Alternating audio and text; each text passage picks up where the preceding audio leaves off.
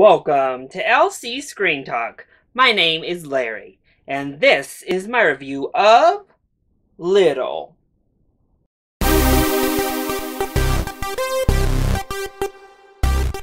Little tells the story of a successful businesswoman who is magically cursed into being 13 all over again when she bullies the wrong little girl. Now, honestly, I thought the trailers had promise, but they also had a lot of potential for utter disaster, just foolishness. However, I love Regina Hall, so I was on board just based on her involvement. And honestly, this turned out to be way more entertaining and fun than I had anticipated. So, let's go ahead and talk about the positives. Well, the biggest positive for the film is that it's funny, and I was laughing out loud quite a few times throughout the movie. This is right up my brand of humor. I was thoroughly entertained and laughing consistently throughout the film.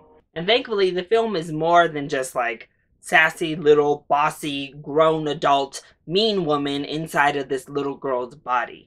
Of course, we have some gags that play off of that, but honestly, I thought that the humor was elevated above just shoving that gimmick over and over down our throats until we're sick of it.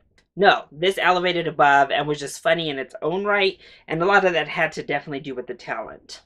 Regina Hall is great in this film, as she is in everything, but she really showed off her physical comedic chops here. I thought she was really funny and played her part very well.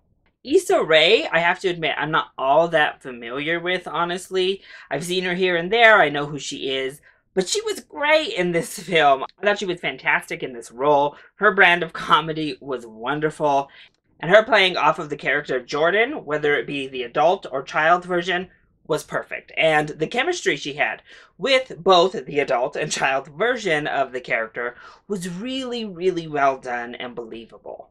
Speaking of the child version, Marsai Martin was fantastic. Now, I also don't know very much about her. Sorry, y'all, I'm just not a TV person, so the TV personalities I'm not as familiar with. But Martin was fabulous in this film. She was so full of charm and charisma. Plus, she believably played a young version of Regina Hall's character. It was great. again, the characters had chemistry, and, and that chemistry does a lot to sell this film overall.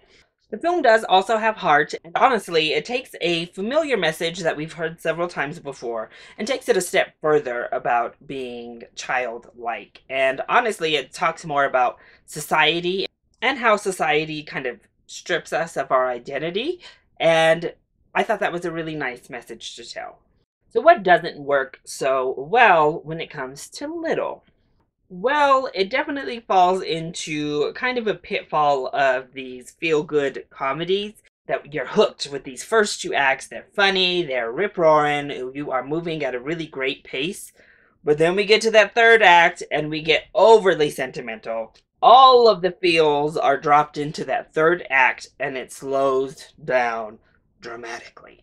It's okay to have a message, it's okay to insert emotions in, but I definitely think the emotional aspects to this film were far weaker than the humor. And honestly, the script didn't know how to handle those moments nearly as well as they handled the comedy. So it was a little bit disappointing that the third act was noticeably weaker than the first two. The film also introduces some fun gags and some fun characters, and literally we never visit them again. There's an entire subplot about a CPS worker that we don't go anywhere with. There's a teacher who we see in the trailer is a very hunky teacher, and we just don't go anywhere with that. And then the ending leaves a huge gap, completely and totally unexplained. I guess everyone just had amnesia. And if you like explanations, not only do we just completely drop any sort of reasoning or explanation within the world of the film at the end of the movie, the magic of it all is nowhere near explained either. But honestly, just don't overthink this one, and I think you're to have a really fun time with this movie. It accomplishes the type of film it wants to be very well. You'll laugh and you'll feel good leaving the film. And although the message maybe isn't executed perfectly, it's still a nice message to tell between the big laughs. So if you're looking for a really fun comedy for the weekend, Little is worth a full price ticket. Much more fun and had a lot more laughs than I had anticipated. So, that is my review of Little. I hope you enjoyed it. If you did, go ahead, click like down below, and subscribe to the channel so you are always up to date on our latest videos. Also, join in on the discussion. Are you excited to see Little? And what is your favorite Regina Hall film? Let me know either in the comment section down below, or you can hit me up on Twitter. I love you all so much for your support. Mwah! Thank you for watching, and I'll see you next time. Bye!